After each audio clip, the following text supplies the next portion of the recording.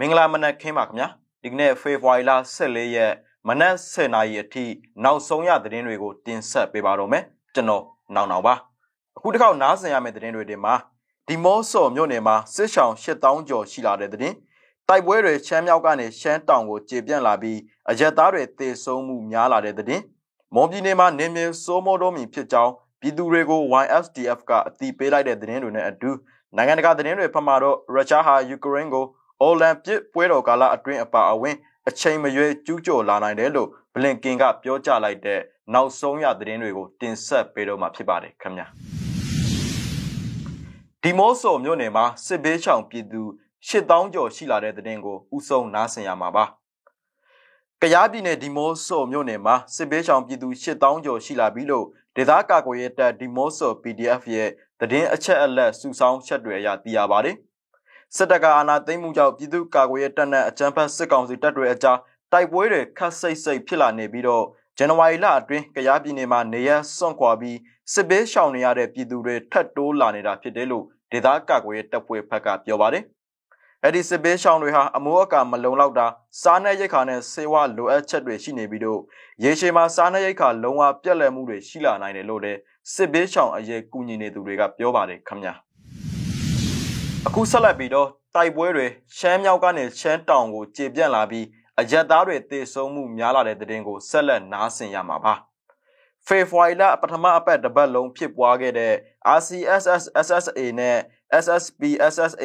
ရှမ်းလက်နက်ကင်နှစ်ဖွဲ့တို့အကြားတိုက်ပွဲတွေကြောင့်အရက်သားပြည်သူတွေသေဆုံးမှုတွေရှိနေပြီးတော့ရှမ်းပြည်နယ်တောင်ပိုင်းရက်စောက်မြို့ပေါ်ကိုစစ်ချောင်း600ကျော်ရောက်ရှိနေတယ်လို့သိရပါတယ်။ ရှမ်းပြည်တိုးတက်ရဲ့ပါတီ SSB SSA နဲ့ရှမ်းပြည်ပြည်နယ်ထူထောင်ရဲကောင်စီ RCSS SSA တို့အကြားတိုက်ပွဲတွေဟာရှမ်းမြောက်နမတူတီပေါ်ကြောက်မဲလာရှိုးကနေရှမ်းတောင်မိုက်ကိုင်လေရှာရဲဆောက်မြို့နယ်တွေအထိဖြစ်ပွားလာပြီးစစ်ချောင်အယောက်600ကရဲဆောက်မြို့နယ်အတွင်းမှာရှိတဲ့ဘုံတော်ကြီးကျောင်းတွေမှာရောက်ရှိလာတယ်လို့သိရပါတယ်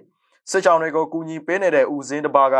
အခုဒုက္ခတွေကြတော့ဘုံဘုံတို့သိရသလောက်9လဝန်းကျင်ကလေးကကြောင်မဲမျိုးနေတွေကအနောက်ဖက်တောင်ပေါ်ဒေသတွေပေါ့နော်ဒီဟူးကွက်တို့ဒေသကနေကြောင်မဲမျိုးပေါ်ကိုရွှေ့ပြောင်းပြီးတော့လာနေကြတာပါ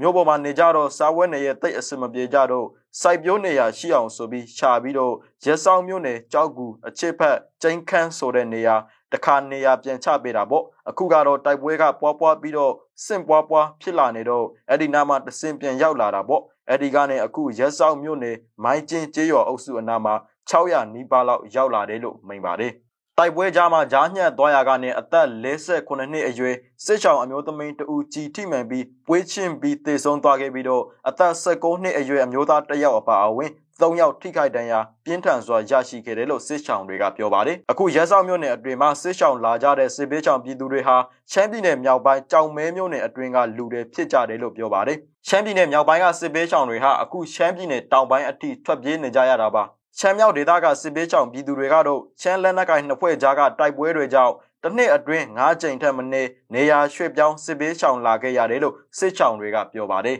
စစ်ချောင်တွေလိုအပ်နေတဲ့အကူအညီတွေနဲ့ပတ်သက်ပြီးတော့အခုကရွှေ့လိုက်ပြောင်းလိုက်နဲ့ငါးခါလောက်ရှိနေပြီးအခုသူတို့လိုအပ်တာကစောင်းတွင်းဆိုတော့စောင်းရဲစားဖို့တောက်ဖို့ကဆန်ရဲဟင်းသီးဟင်းရွက်စီဆဲအိုးခွက်ပကံဖို့အဓိကလိုအပ်တာဖို့အဲ့ဒါတွေလိုအပ်ပါတယ်သူတို့ကကြောင်မဲမြို့နယ်ရဲ့အနောက်ဘက်တောင်တကြောဖို့သူကတောဆန်ဟူကွက်ဟူးစွန်တို့အဲ့ဒီဘက်ကနေရွှေ့ပြောင်းလာတယ်လို့ရက်ဆောက်မျိုးကဦးစင်းကမိန်ပါတယ်ပြီးခဲ့တဲ့အင်ကာနေ့နဲ့ဗုဒ္ဓဟူးနေ့တွေမှာလည်း ရက်ဆောက်မြို့နယ်နောင်ဝိုကြောက်ကူကျေးတို့ဘက်မှာ RCSS နဲ့ SSPB တို့အကြားတိုက်ပွဲတွေပြင်းထန်ခဲ့တဲ့အတွက်ဒေသခံအချို့ကတိုက်ပွဲဖြစ်ပွားခဲ့တဲ့ကြောက်ကူကျေးရွာတွေထဲမှာပိတ်မိနေခဲ့ကြပါတယ်။အဲ့ဒီတိုက်ပွဲအတွင်းမှာစစ်ကောင်စီဘက်ကလည်းလေရင်နဲ့လာရောက်ပစ်ခတ်ခဲ့ပါတယ်။ ကြောက်ကူကျေးရွာထဲမှာပိတ်မိနေတဲ့စစ်ဘေးရှောင်တွေကကြာသားပတဲ့နေ့မှစစ်ဘေးလွတ်ရနေရာကိုထွက်လာနိုင်ခဲ့တယ်လို့အကူအညီပေးနေသူတွေကပြောပါတယ်။တောက်ကြနေ့နဲ့စနေနေ့တွေမှာတော့အဲ့ဒီနေရာအနီးတစ်ဝိုက်မှာတိုက်ပွဲဖြစ်ပွားတဲ့တွေမကြားရပေမဲ့စစ်ချောင်တွေကတော့နေရက်ပြင်ဖို့အဆင်မပြေသေးပဲအခက်အခဲမျိုးစုံနဲ့အကူအညီပေးရဲ့အဖွဲ့တွေကခြာပေးတဲ့နေရာတွေမှာပဲနေနေကြရတာပါ။တိုက်ပွဲဖြစ်ပွားရတဲ့အကြောင်းအရင်းနဲ့ပတ်သက်လို့ SSPB SSA ပြောရဲဆိုခွင့်ရှိသူဗိုလ်မှူးဆိုင်ဘုံဟန်က အခု RCSS နဲ့ဖြစ်နေတဲ့ကိစ္စကမြောက်ပိုင်းမှာစဖြစ်တာပေါ့လေဗျာမြောက်ပိုင်းကဒီနမတူတို့ကြောင်မဲတီပေါ်ဒီရက်ဆောက်အထိရောက်သွားတာပေါ့အမှန်ကြတော့ဒီတိုက်ပွဲကမြောက်ပိုင်းရဲ့အဆက်လို့ပြောလို့ရပါတယ်အမှန်ကြတော့ဒီတိုက်ပွဲမဖြစ်ဖို့ကတွစ်ဆုံဆွေးနွေးရဲ့လမ်းကြောင်းကိုပထမဦးစားပေးဖို့လေတကယ်လို့တွစ်ဆုံဆွေးနွေးရေးလမ်းကြောင်းရှိနေတဲ့၍ဒီစစ်ရေးလမ်းကိုမသုံးပါဘူးဗျာလို့ပြောပါတယ်ရှမ်းလက်နက်ကင်နှစ်ဖွဲ့အကြားအကြိမ်ကြိမ်တွဲဆုံဆွေးနွေးမှုတွေရှိခဲ့ပေမဲ့ဒီကနေ့အချိန်ထိညှိနှိုင်းလို့မရသေးတဲ့အတွက် တိုက်ပွဲတွေဆက်လက်ဖြစ်ပွားနေရတာဖြစ်တယ်လို့ SSPP ကပြောပါတယ်။ RCSS ပြောရဲဆိုခွင့်ရှိသူဗိုလ်မှူးခန်းဆန်ကအခုတိုက်ပွဲဟာ SSP ဘက်ကအင်အားအလုံးအင်းနဲ့ထိုးစစ်ဆင်ရတဲ့အတွက်ဖြစ်ပွားလာရတာဖြစ်တယ်လို့ပြောပါတယ်။လွန်ခဲ့တဲ့2ရက်3ရက်လောက်ကတော့ရက်စောက်မြို့နယ်တွေမှာတိုက်ပွဲပြင်းထန်တာဖို့ဒီနေ့မှာတော့တိုက်ပွဲကရော့ကျသွားပြီးစစ်ရေးကတော့တင်းမာတော့ဖို့အဓိကတော့ SSPP တို့ကအင်အားအလုံးအင်းနဲ့ထိုးစစ်ဆင်လာတာပေါ့ညှိနှိုင်းတာနှစ်ဖက်စလုံးမှာကော်မတီတွေရှိတယ်ညှိနှိုင်းနေတယ်ဆိုပေမဲ့ တရားဝင်အစည်းအဝေးကြလို့မဖြစ်မြောက်ခဲ့ဘူးပေါ့နော်လို့ပြောပါတယ်။ရဲစောင်းမြို့နယ်အတွင်းမှာဖြစ်ပွားခဲ့တဲ့တိုက်ပွဲတွေအတွင်း RCSS ဘက်ကအတော်လဲအထိနာခဲ့တယ်လို့ဒေသခံတွေကဆိုကြပါတယ်။ SSB ကစစ်သုံးပန်း20ကျော်နဲ့လက်နက်ခဲယံတော်တော်များများကိုဖမ်းဆီးရမိခဲ့ပါတယ်။အဲဒီလိုဖမ်းဆီးရမိခဲ့တဲ့စစ်သုံးပန်းတွေကိုပြန်လှုပ်ပေးသွားမယ်လို့ဗိုလ်မှူးဆိုင်ဘုံဟန်ကပြောပါတယ်။ရှမ်းလက်နက်ကင်နှစ်ဖွဲ့အကြားကစစ်ရေးပဏိပခတွေတိုက်ပွဲတွေရပ်တန့်ရဲရှမ်းပြည်သူတွေရှမ်းတန်ရာတော်တွေ ရှမ်းအရက်ဖက်အဖွဲ့အစည်းတွေကဇက်တိုက်တောင်းဆိုနေကြပေမဲ့ဒီကနေ့အချိန်ထိနှစ်ဖက်တိုက်ပွဲတွေမရပ်တန့်နိုင်ပဲစစ်ဘေးရှောင်ပြည်သူတွေဒါထပ်တိုးလာနေတာဖြစ်ပါတယ်ခင်ဗျာ။မွန်ပြည်နယ်မှာနေမြေစိုးမိုးတော့မှာဖြစ်တယ်လို့ပြည်သူတွေကို YSDF ကအသိပေးလိုက်တဲ့သတင်းကိုဆက်လက်နားဆင်ရမှာပါ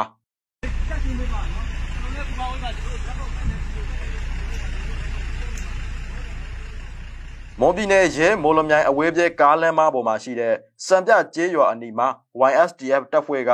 ခရီးသွားပြည်သူတွေကိုမိတ်ဆက်ကာနေမြေစိုးမိုးတော့မှာဖြစ်တယ်လို့အသိပေးခဲ့တာဖြစ်တယ်လို့သိရပါတယ်။ဖေဖော်ဝါရီလ23ရက်ဗိုလ်ချုပ်မွေးနေ့မှာခရီးသွားကားအစီး20ခန့်ကပြည်သူတွေကိုမိတ်ဆက်ကာပြည်သူတွေကလည်းလက်သုံးချောင်းထောင်ကအားပေးသွားတယ်လို့ Yes Special Task Force YSDF ပြန်ကြားရေးတာဝန်ခံကပြောပါတယ်။ YSDF တပ်ဖွဲ့ရဲ့ထုတ်ပြန်ချက်ရုပ်သံမှာတော့လက်နက်ကိုစီလွေထားတဲ့တော်လှန်ရေးတပ်သားတွေပါဝင်တဲ့စစ်ကြောင်းတစ်ခုကိုတွေ့ရပြီးတော့ပြည်သူနဲ့ရင်းနှီးငြိမ်းချမ်းစွာတွေ့ဆုံပြီးပြန်လာတဲ့တပ်ပေါင်းစုစစ်ကြောင်းဖြစ်တာကိုတပ်ဖွဲ့ခေါင်းဆောင်လို့ယူဆရသူတို့ကရှင်းပြထားပါတယ်။ကျွန်တော်တို့ကပြည်သူကလက်ခံနိုင်သလားလက်မခံဘူးလားဆိုတာကိုစမ်းသပ်တဲ့သဘောပါ။ပြည်သူအများဆုံးကလက်သုံးချောင်းထောင်ကအားပေးတယ်လို့အရှို့ဆိုငိုကြတယ်။သူတို့အားရလို့စကားတောင်အကြာကြီးမပြောလိုက်ရဘူးလို့ YSDF ပြန်ကြားရေးတာဝန်ခံကပြောပါတယ်။ရဲမျိုးနယ်မှာရှိတဲ့စစ်ကောင်စီတပ်ကိုလက်နက်ကင်တော်လှန်နေတဲ့တပ်ဖွဲ့တွေစုပေါင်းကတပ်မဟာတကူအဖြစ်စစ်ကြောင်းထိုးဖို့စတင်ပေါင်းစုလှုပ်ဆောင်နေပြီဖြစ်တယ်လို့ပြည်သူတွေကိုတရားဝင်တင်ပြပြောဆိုထားပါတယ်။ဖေဖော်ဝါရီလ23ရက်နေ့မှာကြာရောက်တဲ့တရား9နှစ်ပြည့်ဗိုလ်ချုပ်မွေးနေ့မှာအဲ့ဒီတပ်မဟာကိုစတင်ဖွဲ့စည်းကြောင်းကိုလည်းရုပ်သံဖိုင်မှာတပါတဲ့ကြေညာထားတာတွေ့ရပါတယ်။ကော်တူးတဲ့တမဟာ6တက်ရင်16ဝါခတက်ခွေနေမြေတွေမှာခေါ်လုံအခြေစိုက်ခွင့်ရတဲ့ MSRU ရဲဘလူးနဲ့ YSDF အဖွဲ့တော်ပူးပေါင်းပြီးတော့ပြည်သူတပ်ပေါင်းစုတပ်ဦးကိုကျိုးဘုတ်အိတ်စကန်စနစ်နဲ့ဖွဲ့စည်းထားပြီးဖြစ်ကြောင်းဖေဖော်ဝါရီလ23ရက်နေ့ဗိုလ်ချုပ်မွေးနေ့မှာပြည်သူလူထုထံကိုတရားဝင်အသိပေးကြေညာလိုက်တယ်လို့လည်း YSDF ကသူတို့ရဲ့လူမှုကွန်ရက်စာမျက်နှာပေါ်မှာထုတ်ပြန်ထားတာဖြစ်ပါတယ်ခင်ဗျာအခုဆက်လက်ပြီးတော့နိုင်ငံတကာသတင်းတပုတ်ကိုဆက်လက်နားဆင်ရမှာပါ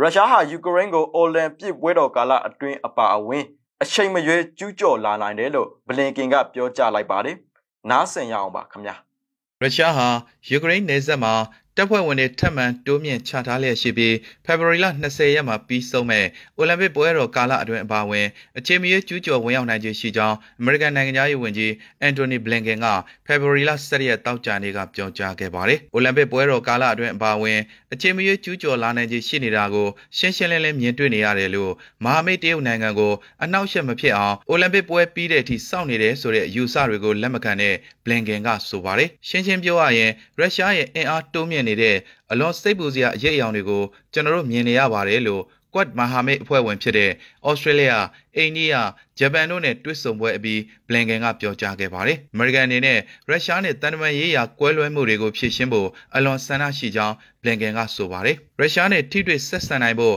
အတက်နိုင်ဆုံးကြိုးပမ်းနေသလိုတစ်ချိန်တည်းမှာပဲကာကွယ်ရေးအတွက်တားဆီးမှုတွေပြက်ပြက်သားသားလှုပ်ဆောင်နေတာကြောင့်ရုရှားအနေနဲ့နောက်ထပ်ရန်စတဲ့လမ်းကြောင်းကိုရွေးချယ်ခဲ့မယ်ဆိုရင်ကြီးမားတဲ့အကျိုးဆက်တွေကိုရင်ဆိုင်ရလိမ့်မယ်လို့ဘလင်ကန်ကပြောကြားခဲ့ပါတယ်။ စစ်ပွဲဟာပုံမနိကတ်လာပြီဖြစ်ကြောင်းလူသိရှင်ကြားအချက်ပြမှုအဖြစ်ယူကရိန်းမှာရှိတဲ့အမေရိကန်နိုင်ငံသားတွေကိုချက်ချင်းထွက်ခွာဖို့သမ္မတဂျိုးဘိုင်ဒန်ကတိုက်တွန်းလိုက်ချိန်မှာဘလင်ကန်ရဲ့အခုလိုမှတ်ချက်ထွက်ပေါ်လာခဲ့တာဖြစ်ပါတယ်။အမေရိကန်နိုင်ငံသားတွေအနေနဲ့ယူကရိန်းကနေချက်ချင်းထွက်ခွာပါလို့ဘိုင်ဒန်က NBC သတင်းဌာနနဲ့အင်တာဗျူးမှာပြောကြားခဲ့ပါတယ်။ကျွန်တော်တို့ဟာကမ္ဘာပေါ်မှာရှိတဲ့အကြီးဆုံးစစ်တပ်တွေကတခုနဲ့ရင်ဆိုင်နေရပါတယ်။ဒါဟာအလွန်ကွဲပြားခြားနားတဲ့အခြေအနေတစ်ခုဖြစ်ပြီးဘာမှဆိုဖြစ်လာနိုင်ပါတယ်လို့ ဘိုင်ဒန်ကဆိုပါတယ်မြစည်းမ TV ရဲ့ဒီကနေ့မနက်10:00နာရီအထိနောက်ဆုံးရသတင်းတွေကိုနားဆင်ကြရတာပါမြန်မာပြည်သူပြည်သားအပေါင်းစစ်အာဏာရှင်ကက်ဘေးကနေကင်းဝေးပြီးတော့ကိုယ်စိတ်နှစ်ပါးကျမ်းမာချမ်းသာကြပါစေလို့ဆုတောင်းမေတ္တာပို့သလိုက်ရပါတယ်ကျွန်တော်တို့သတင်းတွေနဲ့အတူတူပြန်ဆောင်ကြရအောင်ပါခင်ဗျာ